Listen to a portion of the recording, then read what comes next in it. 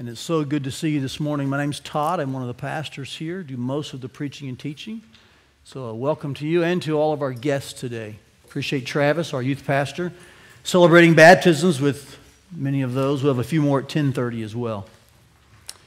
Today we begin season two of our series, The Kings and the King.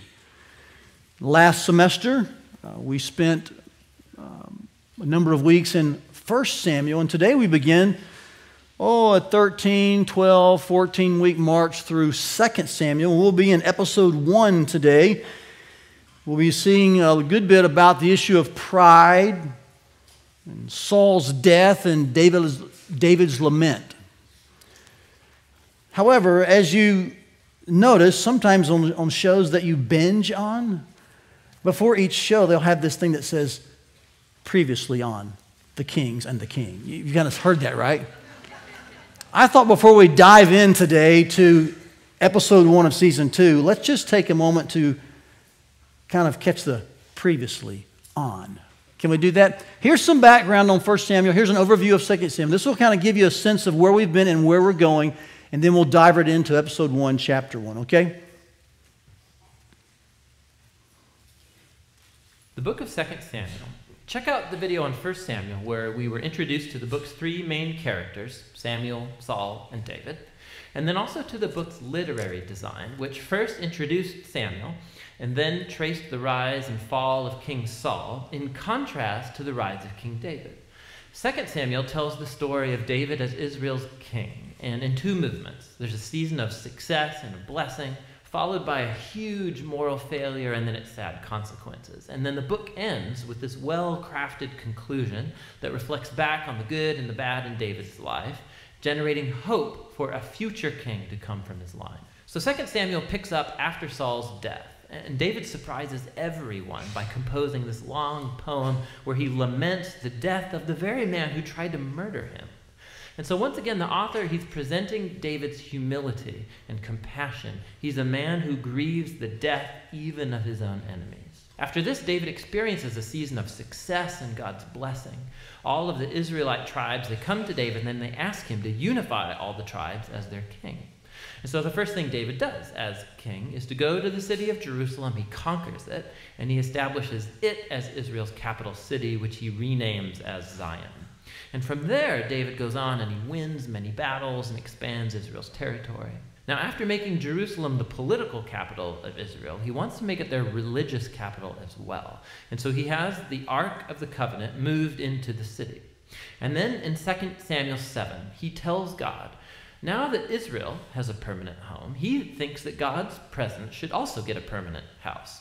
So he asks if he can build a temple for the God of Israel. But God says to David, Thank you for that thought, but actually, I'm going to build you a house, a dynasty. Now, 2 Samuel 7, this is a key chapter for understanding the storyline of the whole Bible. Because God here makes a promise to David that from his royal line will come a future king who's going to build God's temple here on earth and set up an eternal kingdom. And it's this messianic promise to David that gets picked up and developed more in the book of Psalms and also in the books of the prophets. And it's this king that gets connected to God's promise to Abraham. The future messianic kingdom will be how God brings his blessing to all of the nations.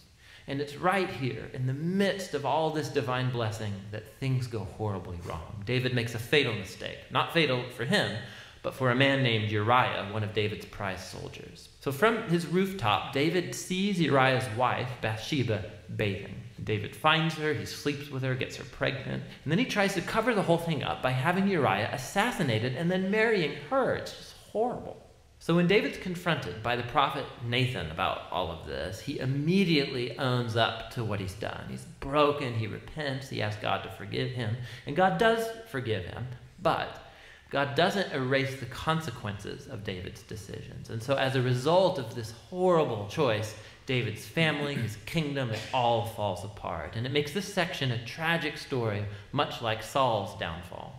So, David's sons end up repeating his own mistakes, but in even more tragic ways. So, Amnon sexually abuses his sister, Tamar, And then their brother Absalom finds out about all of this and has Amnon assassinated. And then Absalom goes and he hatches the secret plan to oust his father David from power, and he launches this full scale rebellion. And so, for a second time, David is forced to flee from his own home and go hide in the wilderness. Except this time, he is not an innocent man. The rebellion ends when David's son is murdered, when it breaks David's heart. And so, once again, he laments over the very man who tried to kill him. David's last days find him back on his throne, but as a broken man, he's wounded by the sad consequences of his sin. The book concludes with a well crafted epilogue with stories that are out of chronological order, but they have this really cool symmetrical literary design. So the outer pair of stories come from earlier in David's reign, and they compare the failures of Saul and then of David, and how each of them hurt other people through their bad decisions. The next inner pair of stories are about David and his band of mighty men who went about fighting the Philistines. And what's interesting is that both sections have a story of David's weakness in battle so, in contrast to the victorious David of chapter 9, here we see a vulnerable David who's dependent on others for help. The center of the epilogue has two poems that act like memoirs, and David reflects back on his life. And he remembers times when God graciously rescued him from danger. And he sees these as moments where God was faithful to his covenant promise to him and to his family. Both poems conclude by looking back onto the hope of God's promise of a future king who will build that eternal kingdom. Now, these poems and then God's promise also connect back to Hannah's poem that opened the book. And so these key passages from the beginning, now the middle, and the end of the book bring the book's themes all together. Despite Saul and David's evil, God remained at work, moving forward his redemptive purposes. And God opposed David and Saul's arrogance, but he exalted David when he humbled himself. And so the future hope of this book reaches far beyond David himself. It looks to the future, to the messianic king who will one day bring God's kingdom and blessing to all of the nations. And that's what the book of Samuel is all about. That's helpful, isn't it? I think when you see that, you can see why the title, The Kings and the King, is so apropos and relevant. First Samuel deals with Saul, and Second Samuel, David, and all of that, though, points to the real king we're waiting on, Jesus Christ. The question is then, how do we transition from 1 Samuel and Saul to 2 Samuel and David? What, what's the transition tool by which uh, we make that jump? And believe it or not, it is uh, chapter 1 of 2 Samuel, and it is David's mourning over Saul. And of course, within his mourning, there is this song that he writes, this poem. And within that poem, there's this refrain mentioned three times. And it's where we get our title for this week's message How the Mighty Have Fallen. We'll get there eventually, don't worry. But this is where we are today. We're transitioning from Saul to David, and we do that via this report of Saul's death and David's mourning because of it. So take your Bibles, you're there, 2 Samuel 1. I think the chapter breaks down in two simple ways. We have, first of all, in the first 16 verses, the news of his death. And then the last 10 or 11 verses, the sorrow from his death. Now, before we peek into these sections, I want to remind you this is no small matter in the life of David, all right? So while you're in your seat hearing all about the overview and you're thinking about the chronological nature of it and the history of it, remember, we're going to look into a chapter in which the man who mourns Saul's death, listen very carefully, church, and the man who actually leads the nation in mourning Saul's death is actually the one who was the hunted one. His arch enemy actually died. But David didn't seek vindication. He didn't try to take some you know, proud parade that he lasted and outlasted Saul. He takes the high road of humility and actually leads the nation and himself in mourning for the one who actually tried to kill him. I think in chapter 1, if you were to just kind of back off and look at it, you see in this a real mark of David's character. Does he have his downfalls later and before? Yes. But here, when he could have plunged a knife into Saul's life in some sense, he instead in great character, pauses and leads himself and others in mourning for their king. Let's look into that for a little bit, can we? In the first 16 verses, we hear about how David discovered the news of Saul's death. A young man comes to him from the battlefield. David is still in Ziklag, which is in the southern part of the territory. He had been there several days, of course, you recall from 1 Samuel. David asked this gentleman three questions Where you come from? How did it go? And how do you know Saul and his son Jonathan are dead? He's kind of inquiring, you know, is this true? And how do we know? And what are the facts you have to support your claim? Here's the man's story. The young man who told him said in verse 6 By chance I happened to be on Mount Gilboa, and there was Saul leaning on his spear, and behold, the chariots and the horsemen were close upon him. When he looked behind him, he saw me, speaking of Saul. And he called to me, and I answered, Here I am. And he said to me, Who are you? And I answered him, I am an Amalekite. Now that's intriguing because the Amalekites were the first people that Saul refused to destroy totally. It was God's command, you recall? It was his first act of, you might could say, visible, massive disobedience. And now at the very end, here's an Amalekite trying to take advantage of Saul's death. Kind of, kind of, kind of ironic. He said, I'm an Amalekite. And he said to me, Stand beside me and kill me, for anguish has seized me, and yet my life still lingers. And so I stood beside him and killed him because I was sure that he could not live after he had fallen. And I took the crown that was on his head and the armlet that was on his arm, and I have brought them here to my Lord. So here's this enemy combatant, this Amalekite, apparently from the battlefield saying, uh, David, here's how it went down, bro. Saul was just about on his last breath. He called to me. I saw him, went over there, and yeah, I killed him. Here's the proof of it. Now, if you're like me, you're thinking, hmm, that's interesting because that's not the report we have in the last chapter of the previous book. I thought Saul killed himself. He asked his armor bearer to kill him. The armor bearer said he couldn't do that, so Saul fell on his own sword. Like, okay, so what do we have here? Is this guy lying? Or is he just giving us more detail about what happened? Well, why don't we put that question to you guys? Let's have a, a poll this morning, can we? Why are you laughing, right? Let's ask you Is this Amalekite lying? That's A. Or is he actually telling the truth and providing more detail? I'd like to know what you think. Now, in the future, we have polls. We'll actually have you take your phones out, and you'll take the poll on your phone, and we'll be able to see the results in real time. Uh, will just kind of calculate them on the spot. But we don't have that quite yet today. That comes out next week on our new app. So let's just take it live in the audience, can we? If you say, Todd, I think, and by the way, you have to vote. You, you can't take the, you know, the November clause here and say, I'm not voting for anybody, right? Uh, who would say, I think the Amalekite was lying? Raise your hand, would you? Okay. And the first service was kind of split, by the way, just so you'll know. How many of you say, Todd, I think he was telling the truth but providing a lot more detail about it? Raise your hand. Okay. How many of you would say, I just really don't know, I'm not voting? Anybody want to say that? Okay, good. No problem. That's an honest response to it. It's not on the board, but it works. Here's the answer. You ready? It's A. Now, you may hopefully ask yourself, how do you know that, Todd? Is just your opinion of the text? That's a very good question. And no, I don't bring my opinion of the text to the, to the, platform here. Here's why I want to take a minute and teach you what the point of the Chronicles are. This series we're in, called The Kings and the King, um, it really is a series through Samuel, Kings, and Chronicles. But if we were to actually spend two semesters in the Chronicles, you'd find that most of our messages would be repeated ones. Because most of Chronicles just reviews what happened in the Samuels and Kings. Do you know that? So if you go to 1 Chronicles chapter 10, you'll find that there, chronicled in the historical accounts of Israel, is the account of Saul's death, and it actually mirrors 1 Samuel 31 which is that Saul did kill himself by falling on his own sword. This man was simply lying in order to probably gain favor with David, to try to get an end to the new kingdom, to try to find some way to leverage some things he had stumbled across, apparently, some items. His goal was just to make a name for himself and to prevent him from being cru- uh, killed. For some reason, he finds himself in Israel's camp when he's really part of the enemy, so he's like, I, I can't afford to be on the wrong side of this. But as you'll read in chapter 1, he actually was on the wrong side of it. David, in some way, knew he was lying and showed loyalty to the king by having this enemy combatant executed. You'll find that in chapter 1, of course, verses through 11 through 16.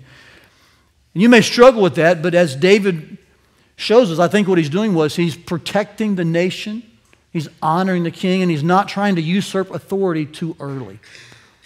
And so, just as a narrative uh, fact here, this man was lying. David realizes it and he has the enemy executed. I think one of the reasons is so he can make good on what he wishes for in the lament. He does not want the, the bad news of their defeat spreading. He doesn't want the enemies to know and rejoice. And so here this guy is, an enemy who would spread the bad news, and so he eliminates that possibility as well. What you find overall in this first section about the news of his death is this I think David honors God by uh, being loyal to the king. And he's not trying to usurp the king's position too early. He's not suddenly trying to make himself the king or take the throne. He's simply pausing to grieve and to honor the Lord by taking care of enemies and to bring the nation to a point of grief. It's an interesting section of Scripture for sure. And in this way, though, David, I think, honors the Lord. And out of that flows this lament, his response to the news of Saul and Jonathan's death. It's where I want to spend most of my time this morning. You'll notice in these 10 or 11 verses that uh, it is divided by uh, three refrains. Do you see them in your Bible? Look at verse 19. You see the phrase, how the mighty have fallen? Do you see that? And then look down in verse 25. How the mighty have fallen.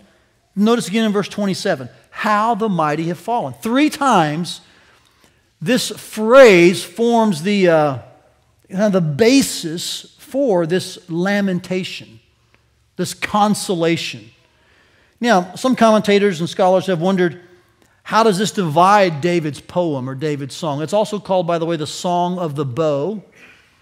Uh, it's, as you'll see in verse 17, it's recorded in a historical book. It was meant to be taught to all of Judah as a reminder of what happened. So, how does this uh, poem, this uh, funeral dirge, we'll call it, how does it fit this refrain? I don't know that the refrains um, are perfectly placed in some sense that we can understand. I, I think there's a number of views on that. Some see him as uh, supporting just two views uh, one towards Saul, one towards Jonathan. Some see them as just simply a, a repeated refrain that talks about Saul only. I see it in this way. I think the first ref- refrain in verse 19 speaks to all of Israel, mentioned in 20 and 21. I think the second time it's mentioned in verse 25, that refrain, how the mighty have fallen, speaks to Saul specifically, 25 through excuse me, uh, 22 through 25a. And then I believe in 26 and 27, he's referring to Jonathan. So I think the three refrains speak to the three characters in view Israel, Saul, and Jonathan. Let's read through it and I'll show you what I mean. Verse 17, here's the news, excuse me, David's response, kind of his lamentation over Saul's death. He says he lamented with this lamentation over Saul and Jonathan, his son, and he said it should be taught to the people of Judah. Behold, it's written in the book of Jashar. By the way, that's a historical book. It's mentioned in the book of Joshua as well. It's one place that the Israelites would record significant events. In that same book, though it's lost now, in that same book is a recording of when the sun stood still and Israel fought for multiple hours like it was day, even though the sun should have set. So, this is a historical book. It held several key events, and it held this one as well. Here's this lamentation David writes, Your glory, O Israel, is slain on your high places. How the mighty have fallen. He's speaking there of their king. That's what he means by glory. High places refers to Mount Gilboa. He says next about Israel. He says, Do not tell it in Gath, don't publish it in the streets of Ascalon, lest the daughters of the Philistines rejoice, lest the daughters of the uncircumcised exult. In other words, we don't want there to be a reproach on Israel. This bad news does not need to be spread. You mountains of Gilboa, let there be no dew or rain upon you, nor fields of offerings. For there the shield of the mighty was defiled, the shield of Saul not anointed with oil. He's almost, in some sense, some commentators say, like passing a curse upon this section of the land. Like, you know, the worst thing happened there. May nothing good ever come from that place again. It's a poetic way to express his deep sorrow and grief for Israel both geographically as well as culturally. Others should not hear of this. This land where it happened, may it never have rain or dew. And his sadness is coming forth in this way for Israel. But he moves from Israel to Saul. He next begins to kind of lay out his accomplishments. Look at verse 22. From the blood of the slain, the fat of the mighty, the bow of Jonathan turned not back, and the sword of Saul returned not empty. He's speaking here of his military accomplishments, the times they were very victorious. How they were together in verse 23 Saul and Jonathan, beloved and lovely. In life and in death, they were not divided. They were swifter than eagles, they were stronger than lions. You daughters of Israel, weep over Saul, who clothed you luxuriously in scarlet, who put, who put ornaments of gold on your apparel. So, verse 22 talks about the victories and the spoil. Verse 24, here's the result of those. Israel benefited from that. And then, verse 25 again, how the mighty have fallen in the midst of battle. And then, verse 26, he gets even more personal. So, you kind of see this, this lamentation going from the large group Israel to then Saul, and then even more personal to Jonathan, his best friend. Look what he says Jonathan lies slain on your high places. I am distressed for you, my brother Jonathan. Very pleasant you have been to me. Your love to me was extraordinary, surpassing the love of women. And then here's the refrain again. Could you read it with me? How the mighty have fallen and the weapons of war perished. Now, when you read this part about Jonathan, you may think, wow, that's an incredible compliment to pay. It is. But if you consider David's life, you'll know that most of David's friends were always trying to work an angle. In fact, consider the, David's wives. Many of them were there as a result of something he accomplished or as a prize or something that he wanted and he got it in a, in in a wicked way. Jonathan was one of David's only friends who, who never seemed to love him with a hook, who wasn't trying to work an angle. In fact, when he speaks of how much Jonathan loved him, this kind of covenant love, he's not speaking here that this love was homosexual. Some liberal scholars will tell you that. They'll read this verse and they claim that, well, this proves that David and Jonathan had a homosexual relationship.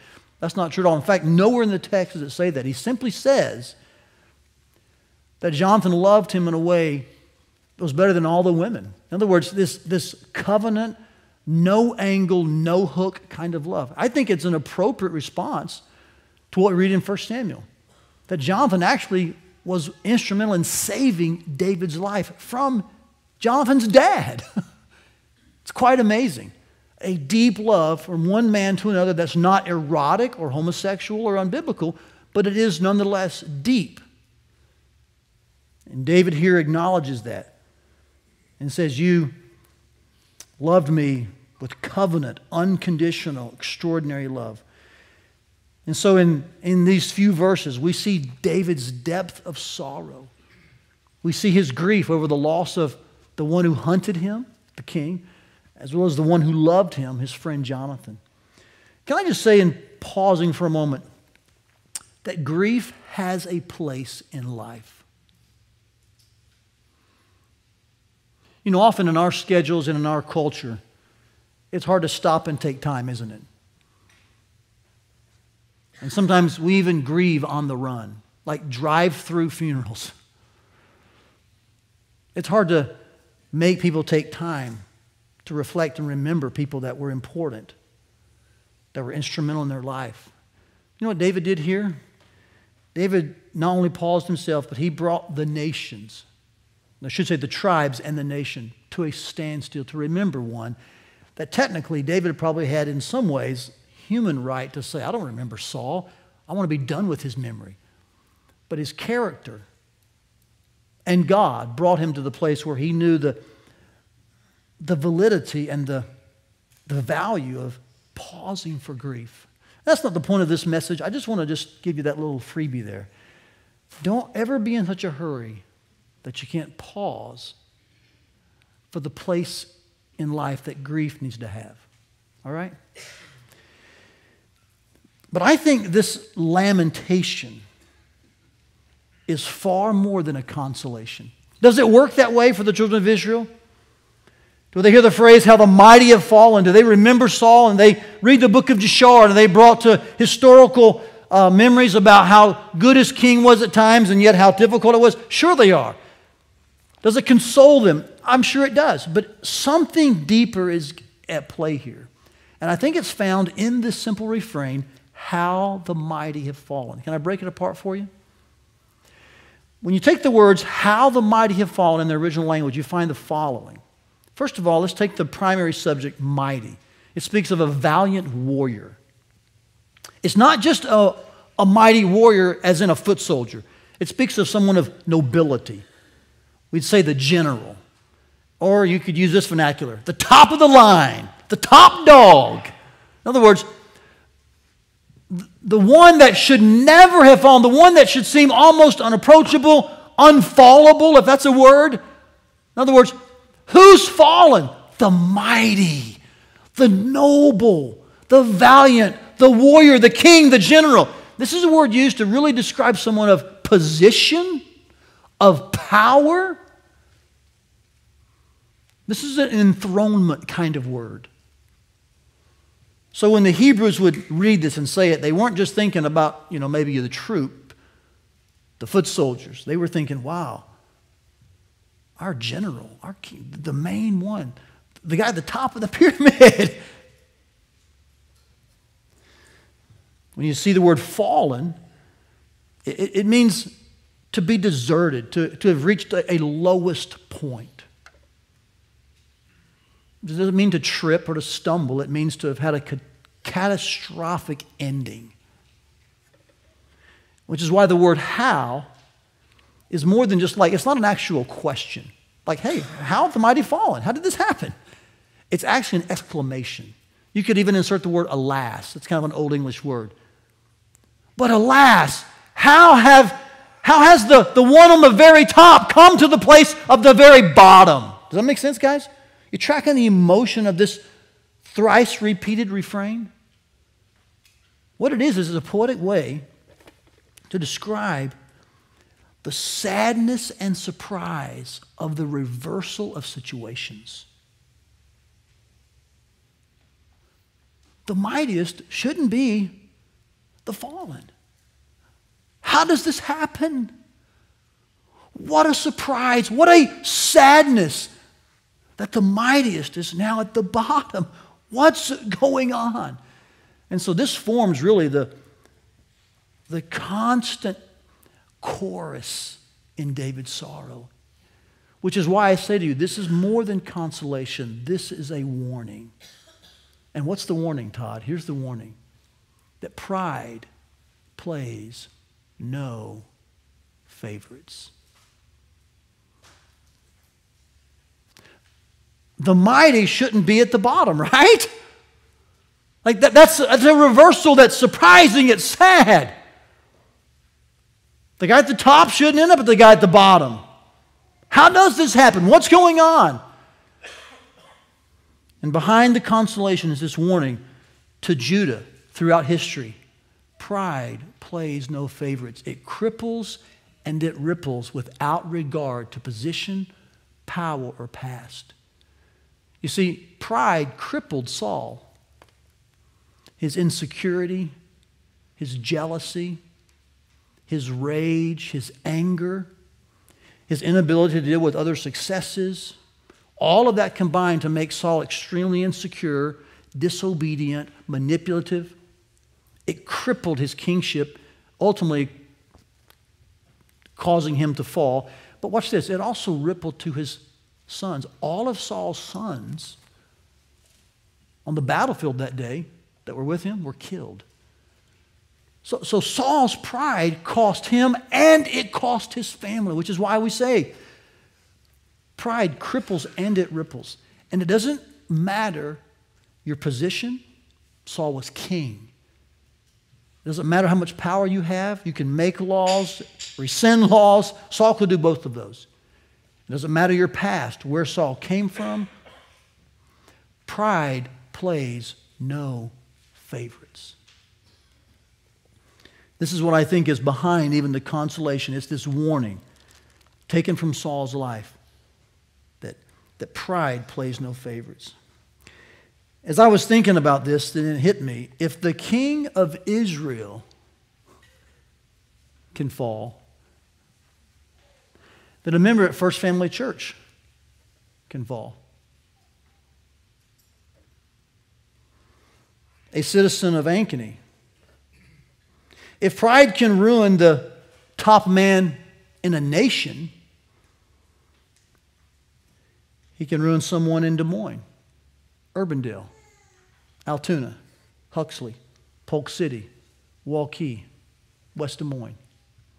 You see, ge- geography is not an issue for pride.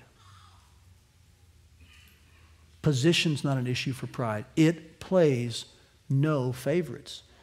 It can take out a pastor, it can take out a pastor's wife, it can take out an elder, a deacon, a deacon's son, an elder's daughter. It can take out an usher, a greeter, a lighthouse leader, a charter member, a new guest, a children's worker, a youth leader, a technician, or a musician. Pride plays no favorites. It can destroy someone saved three decades or three hours. Somebody with degrees and a high school dropout. A businessman or woman, the unemployed, the married, those who are single, the rich, and the poor.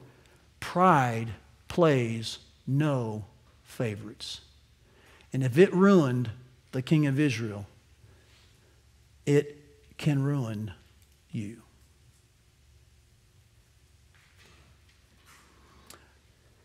So, do you see in this lamentation far more than a consolation?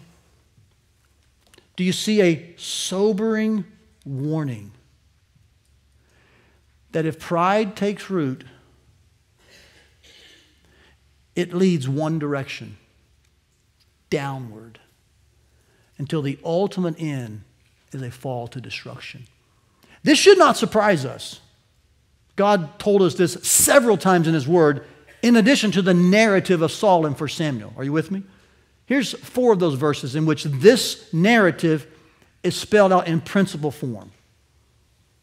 Here it is in Proverbs 16, 18. You probably would know this verse. Read it with me, would you? Pride goes before destruction, and a haughty spirit before a fall. The verse does not say pride goes before success. it doesn't say haughty spirit's the, the last step before you finally make it. It says pride and a haughty spirit are the last steps before destruction. That's a warning to us.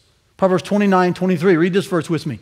One's pride will bring him low, but he who is lowly in spirit will obtain honor. What pride here does not bring you to the top. Pride brings you where? To the place of lowness. How the mighty have fallen. So Solomon, David's son, is repeating what he watched and knew about and heard about in previous regimes to his fathers. Here's how the New Testament would describe these very same principles and this narrative. 1 Corinthians 10 12. Read with me, would you? Therefore, let anyone who thinks that he stands take heed lest he fall. The minute you think, man, I've got this, you kind of do the old chest puff out, I'm ready to go, is actually the last thing you think before you step off the edge of the cliff. This verse in 1 Corinthians 10 comes on the heels of four illustrations from Israel's past in which they knew what God said and rebelled against it and were proud in their own minds and sinned four times, and God judged them. Israel, who should have known better, thought they were standing, yet they fell. That's why he says to us if you think you're standing, take heed. You can fall too. Pride plays no favorites. And then lastly, James 4 6. Read this with me, would you, church? But he gives more grace Therefore, it says, God opposes the proud, but gives grace to the humble. And we're going to say more about these verses in a little later as we wrap things up. But I hope you've seen something that in this opening narrative, in this transition from 1 Samuel to 2 Samuel, in the transition from, from Saul to David, yes, it is an issue of mourning and lamentation.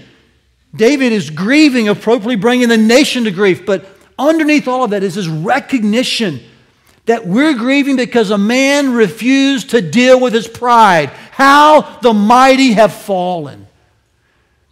But it's not just Saul. Anyone who refuses to deal with their pride will find the same refrain about their life as well.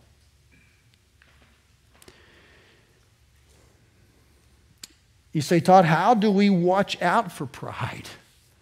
This is a sobering story. Those are sobering principles. How do we watch out for pride? The pride that plays no favorites, the pride that ripples and cripples. Well, I thought about that question as well. How, how can we make sure that we're not following Saul's trajectory downward? We're not in line with this digression.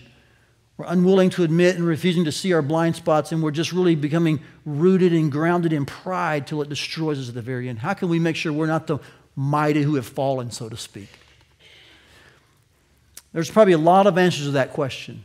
Here's what I've done today I, I just went back through Saul's life, and I, I wanted to find out for myself what are some diagnostic questions to ask ourselves to see are, are we headed towards Saul's end or are we really tapping into humility?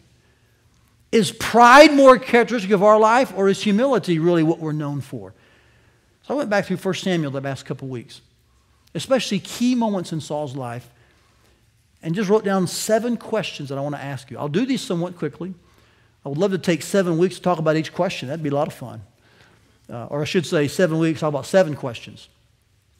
But that's not the point of today. I just want to mention these briefly, and I think you should write these down. You might want to take a picture of the screen.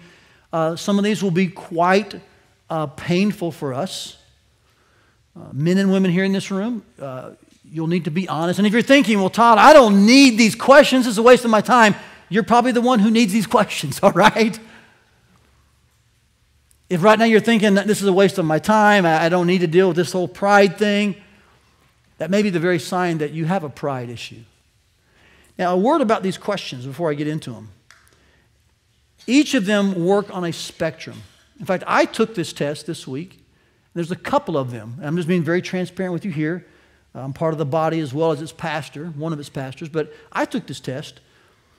Um, these questions come right out of the scriptures and, and, the situations there. And there's a couple of them in which, um, you know, I know these are the avenues that I, that I, that I struggle in.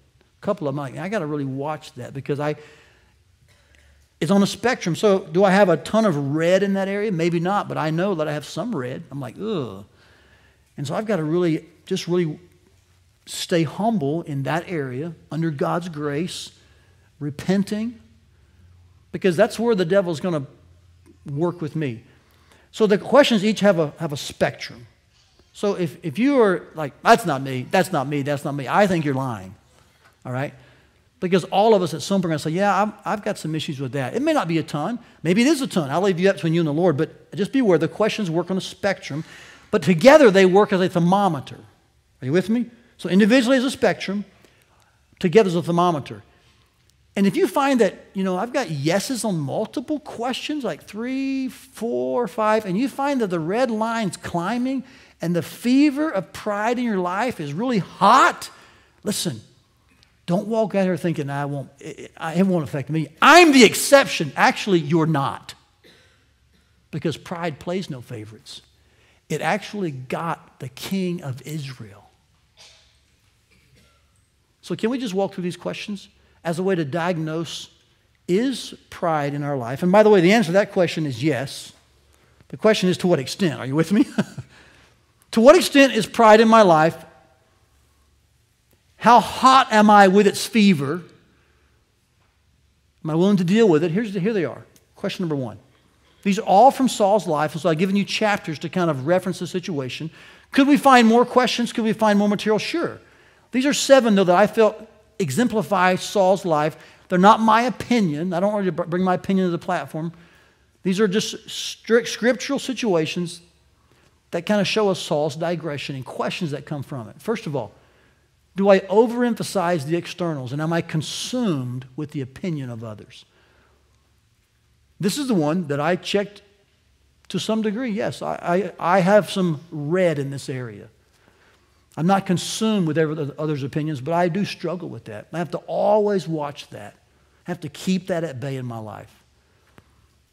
The issue of externals, I just have to wrestle that every single day. This is where pride would make its entrance. How about you? This is really Saul's beginning point, by the way. Remember, he was hiding in the baggage, afraid to be seen. He was head and shoulders above the people. They had to kind of drag him out.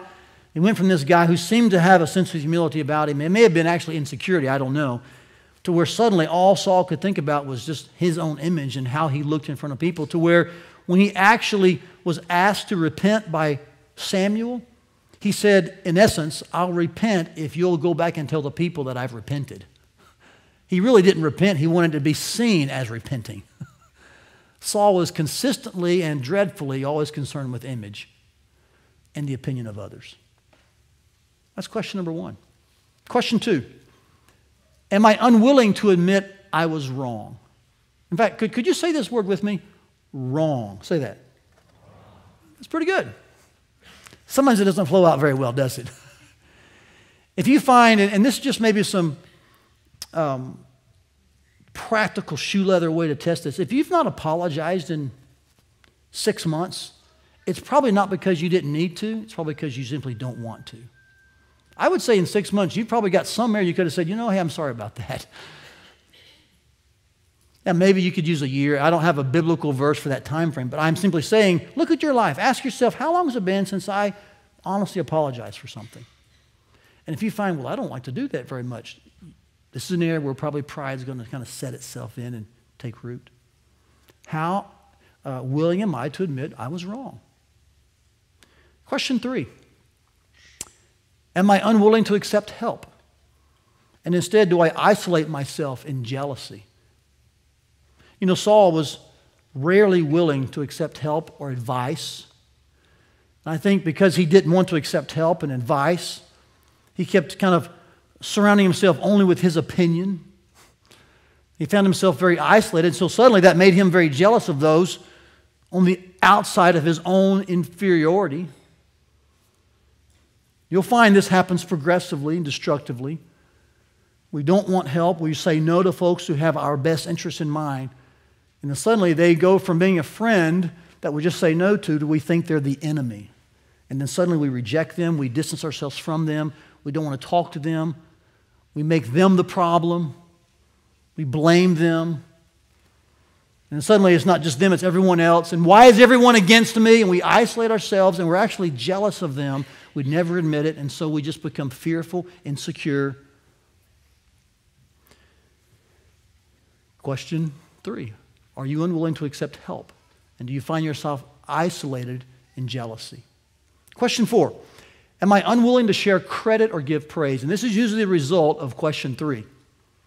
You find this in Saul because he refused help, was unwilling to really acknowledge that he needed help, and those who wanted to give it, then he was very slow to ever say anyone was successful, whether it was David or, or Jonathan. He was always trying to find a way to make sure his name was the first name. It's insecurity, it's pride. Do you find that in your life? You're unwilling to share credit or give praise? Is a compliment just as hard for you as an apology? Question five Do I make excuses for disobedience? And if right now you're making an excuse for this question, go figure, okay? Saul, this is probably the one that's most visible in Saul's life. If you read these chapters here, you'll find that no matter who it was offering to help or providing insight, maybe checking his blind spots, there was always a reason Saul wasn't wrong. Somebody else's fault, the situation didn't turn out right, it's not me, I promise. And sometimes you want to say, Paul, just, I mean, excuse me, hey, Saul, just own it, dude, just own it. There's always someone else. If you find that you're always making excuses for disobedience, yeah, there's a pride issue taking root in your life. Question number six Am I unwilling to genuinely repent and say, I'm sorry? Now, you may think this sounds similar to a previous question. Here's the difference, however. There are those that I've counseled, and they'll acknowledge with a nod that things aren't what they should be. They'll do like this in my office. They'll kind of, hmm. I'll explain the situation as I know it, as I've heard it, and I'll just kind of repeat it back to them, and they'll be like, yeah. And then I'll say, so how do you want to respond to that? They're like, well, that's, uh, that's tough. And you know what I can't get out of them? These words I'm sorry. I've sat with couples and I've watched the husband and the wife just share the pain from years of difficulties. And all I'm after in that first meeting is just one of them to say, I'm really sorry we're here. Like, man, I, this pain, I'm sorry. And what I get is a rehearsal of the stories from both perspectives and never, never like, I'm sorry.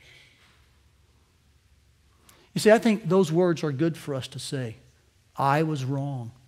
I'm sorry. I repent. And here's why they're good for us. Listen very carefully.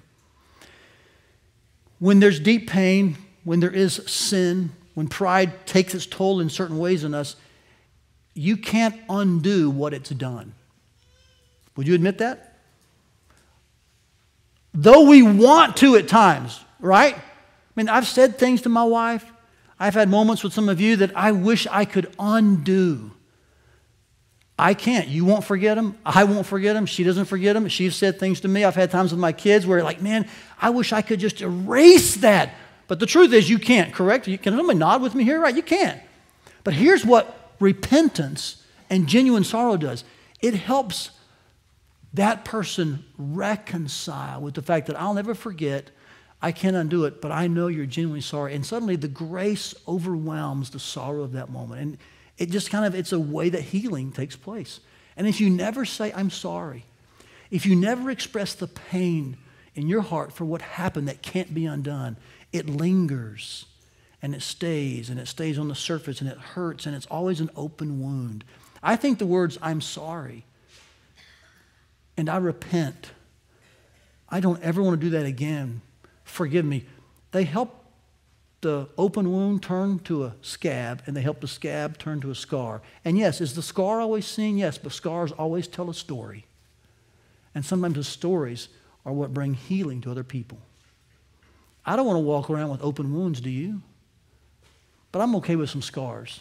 Like, yeah, that was a bad moment. That was terrible sin, but God's grace was sufficient, powerful. And so I think the words, I'm sorry, I think genuine repentance expressed is very helpful. Saul never once said in a genuine fashion, I'm sorry. Now, you'll find in the text of 1 Samuel several times he did say, I'm sorry. Did you know that? So maybe you'll say, Todd, how does that work? Well, the times you find it, he was either worried about his own image or he wanted to work a plan so that he could get his way. Like at the very end when he told David, You know, David, you're right. You cut off a piece of my robe. It shows you could have killed me why don't you come back over here and let's make this thing right? He was trying to trick David to coming back to his side so he could kill him. So even in David's, excuse me, even in Saul's apparent sorrowful statements, he's actually trying to work an angle. There's not a single time in Saul's life you find him genuinely repentant or apologetic. Question seven Do I manipulate circumstances and situations for my own benefit? This is what I would consider to be the most egregious display of pride in Saul's life. And allow me just a moment to expand on this. I think you find it initially in the situation with Goliath. You might can find it before that, but I think for sure as he's struggling to deal with Goliath, which, by the way, dealing with Goliath was Saul's responsibility.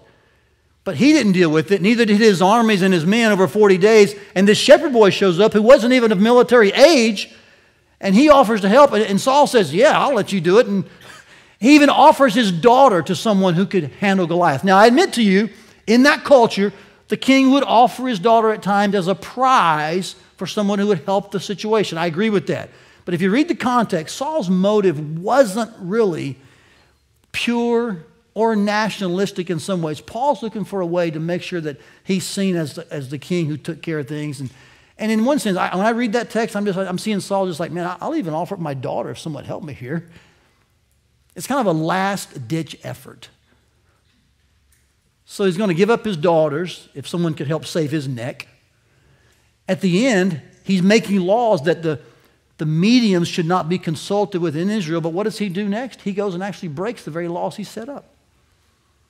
He's thinking, well, it doesn't matter what I said. If, if I need to do it for my own benefit, I will actually adjust situations, I'll manipulate people just to get my way because the most important thing in Saul's mind was to get my way. And so suddenly, Saul's now visibly displaying all of his pride. There's no more like subtle hiddenness. It's not a blind spot, it's an open sore. And the next step after the witch at Endor is 1 Samuel 31. and the fallenness of the mighty. So while we could develop more questions, we could read more books, we could hear other sermons on pride, I just want to bring to you seven diagnostic questions that I think would help us determine how deeply is pride embedded in my life, to what degree is it getting a hold of my neck. With this following question Am I willing to deal with it? Because I hope you're wondering now what's the remedy to pride? It's the very thing Saul would never do. He would never humble himself. Now, I need to talk to you about what that phrase means as we close. Listen very carefully. Humility is the antidote to pride. I think all of you would agree with that. We know that from Scripture, James 4 6, 1 Corinthians uh, chapter 10, verse 12, even many verses in Proverbs. Humility is the antidote to pride. But here's what I think is so ironic about humility. Listen very carefully because you'll misinterpret what I'm saying. It's one of those traits, it's one of those fruits, and I can't explain how this works theologically very well, so I'm going to take a stab at it though, that we actually do to ourselves. It doesn't mean it's not empowered by God's Spirit or that we manufacture it, but in Scripture, you never, and I think I'm correct in this, feel free to double check me, you never find a command to be humble as if it's something that is done to you by someone else. In fact, when you find the idea of, of God humbling someone, it's always in judgment. Prior to that, and apart from that, God always says, humble yourself. It's this reflexive, intensive kind of usage of the verb. Humble yourself. It's like there's something we should do. We should take the knee, bow the head. Now, can God do that to us? Yes. James 4 6 says he opposes the proud. God puts a 24 7 full court press on pride. But when he does that, it's to bring you to your knees in judgment. He would rather you humble yourself. Are you with me?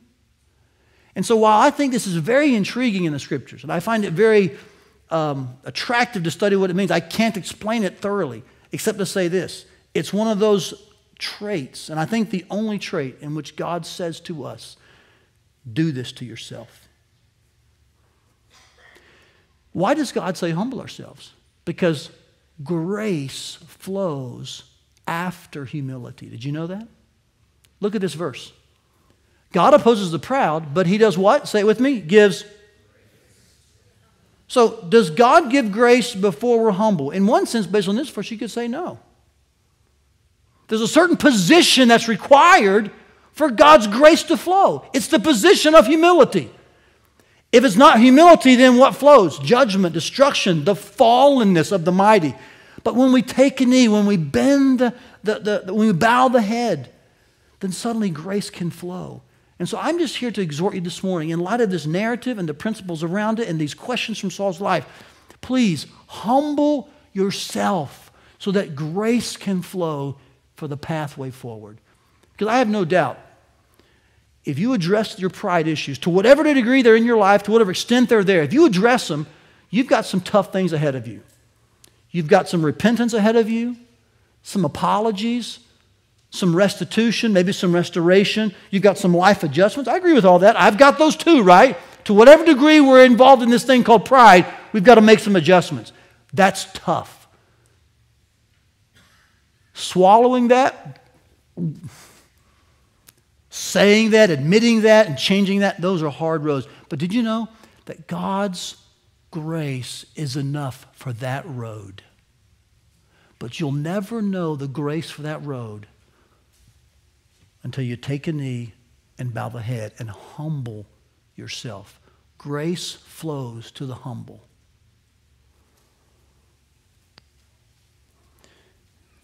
That's why this warning is so pertinent today. Pride plays no favorites. So take the posture of humility and let the grace of God overwhelm you as you move forward then in a meek and lowly lifestyle. That's the call to us today. Not to end like Saul, but instead, watch this, to model Jesus, who humbled himself did you see that? Very reflexive, intensive.